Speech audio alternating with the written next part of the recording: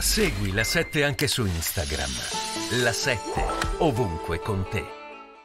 C'ha un rapporto personale con Putin, lui pensa di poter attraverso questo rapporto rientrare nella grande scena internazionale e, e solo che non avendo capito che la fase è completamente cambiata ha commesso un, un errore drammatico. Secondo lei ci sono anche dei motivi elettorali dietro queste sue dichiarazioni? Sì, lui non sopporta la Meloni, insomma, che eh, cioè non sopporta la Meloni come leader politico del centrodestra che lui ha fondato. Al fondo c'è questo elemento. Con quella battuta ha sperato di riuscire a intercettare anche uno spicchio di voto. Certo è che ha creato un problema anche a Tajani questa sua uscita.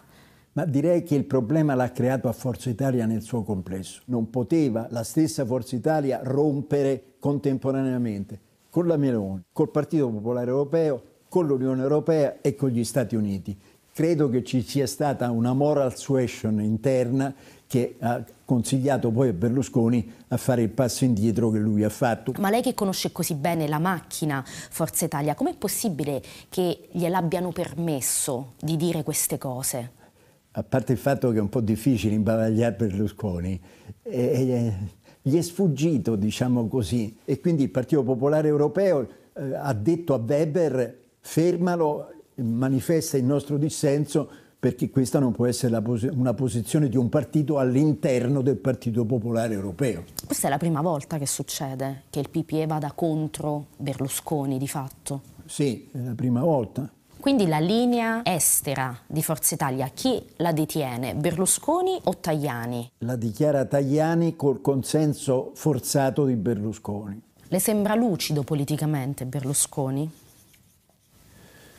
Mm, non lo so, è che mm, sterzate troppo forti in politica estera in un momento assai delicato della politica estera possono avere effetti suicidi.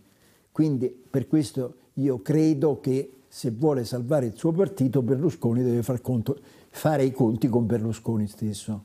A chi ha fatto più male questa uscita di Berlusconi? A Forza Italia o um, all'immagine internazionale di Giorgia Meloni? Qualcosa forse di più ha messo a, a, repentaglio anche il governo italiano. Ci saremmo trovati fuori da tutto, diciamo così, dall'Occidente contro cui Putin poi, perché Putin no, sta sparando sugli ucraini, vuole destabilizzare l'Europa e conta di cambiare con la Cina gli equilibri nel mondo rispetto agli Stati Uniti. Non è una partita di piccolo conto. Si è riaperta una fase drammatica di guerra fredda perché non c'è più da quella parte un comunista ortodosso, c'è un nazionalista autoritario e ossessionato di passare alla storia come quello che ha ricostruito l'impero russo.